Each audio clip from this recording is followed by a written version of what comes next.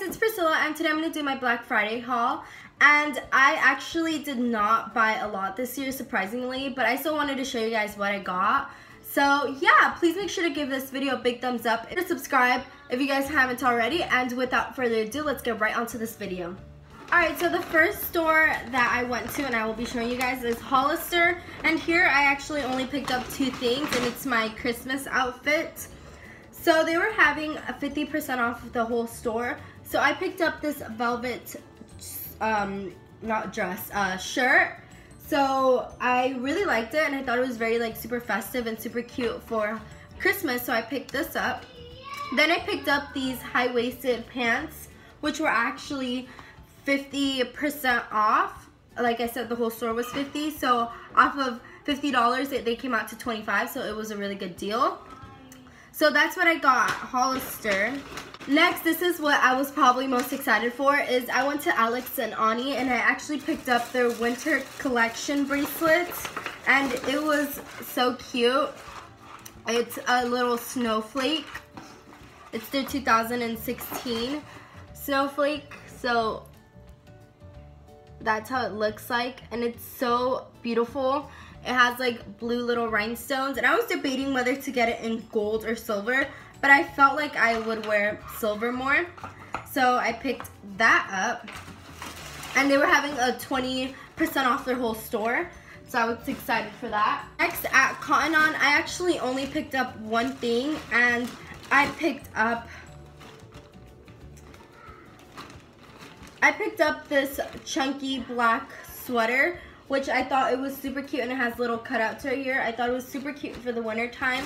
And it's actually getting a little bit chillier in California, which I'm so excited for. So I actually went to Victoria's Secret and I didn't go to Pink this year because there was a huge line and it was just too many people and my mom was like, they always have sale anyways. So we didn't go to Pink, but we went to Victoria's Secret and I actually only got one thing. My mom got a whole bunch of other things. So we actually got the 70, when you spent $75, they gave you a tote. And it was this super cute tote. So we got that tote. And the one thing I got was just this halter bralette. And their bralettes were actually 50% off. So I got this um, like cream halter bralette. So it looks like this and it's super cute.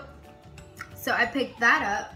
Alright, so the next place I went to was Bath and Body Works. And here, if you guys did not watch my Christmas wish list, you guys wouldn't know that Twisted Peppermint is probably one of my favorite scents from their holiday collection. So I picked up a Twisted Peppermint um, room spray. And I'm actually to spray this right now. Oh, yes. I wish you guys can smell this. It smells so good. Alright, and the next thing I picked up from there was, of course, Twisted Peppermint Hand Sanitizer. And I love to get the big size to like put in my room or wherever I need it when I want to feel like refreshed.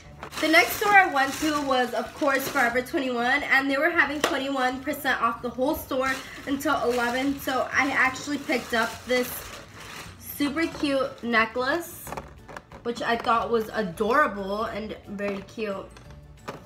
So I picked up that necklace.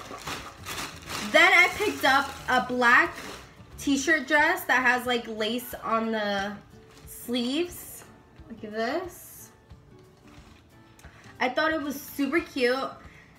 Alright, so that's all I got for my Black Friday haul. I hope you guys enjoyed this haul and make sure to give it a big thumbs up if you guys liked it.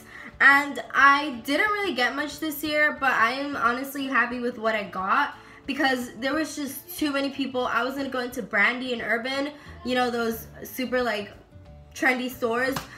But uh, I'm telling you guys, there was the it was such a long line and it was so cold. It was I was like I just want to go home and snuggle in my bed.